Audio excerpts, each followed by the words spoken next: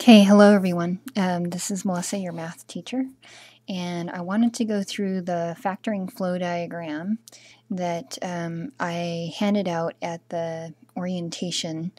Uh, it was the green sheet, and for those of you that didn't show up, this is basically a copy of it. Um, you can take notes on this and write it down. I just want to go through this with you and then do a few examples as well um, to get you started on some factoring. Um, okay, so your factoring flow diagram, you always start with um, the question, is there a greatest common factor? So GCF right there stands for greatest common factor.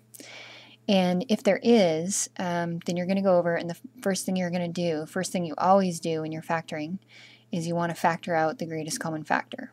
Okay, so if there is one, you pull that over, factor that out, and then notice that there's an arrow right here that's taking you back into asking how many terms are there.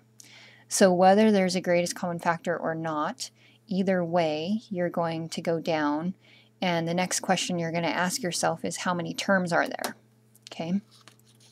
So um, once you ask yourself that question, remember terms are separated by plus and minus signs with no products going on between them.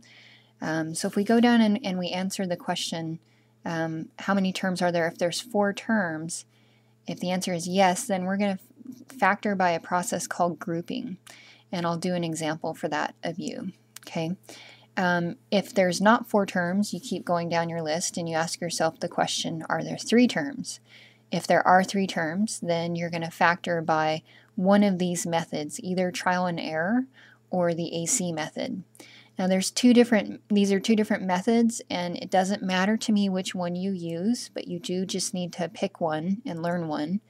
Um, and then if it's not three terms, then you go down and you ask yourself, are there two terms? If there's two terms, then you're gonna you're gonna be using a factoring formula. Okay, um, these formulas are a squared. This first one here is a squared minus b squared. That's called the difference of squares.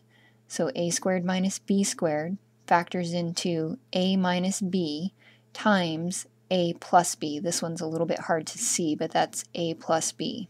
Okay. The second formula here, if it's not the difference of squares, if it doesn't fit that form, it could fit the form of a difference of cubes. So that's this one right here. It's maybe a little bit hard for you to see. There we go. Um, so a cubed minus b cubed, that if it fits that form, it's going to factor into a minus b times a squared plus ab plus b squared. Okay? And if it's not the difference of cubes, it is a possibility that it could be the sum of cubes. That's a cubed plus b cubed equals a plus b times a squared minus ab plus b squared. Okay? All right. Now, um, this factoring flow diagram is for use basically throughout the entire chapter of 5. Um, so this first part here, greatest common factor and factoring by grouping, that these two are in section 5.1. That's where it covers those two. Okay. This trial and error and AC method, that's in sections, excuse me, um, sneezing on a video. That's entertaining. Okay, um, trial and error AC method, that's in sections 5.2, 5.3, and 5.4.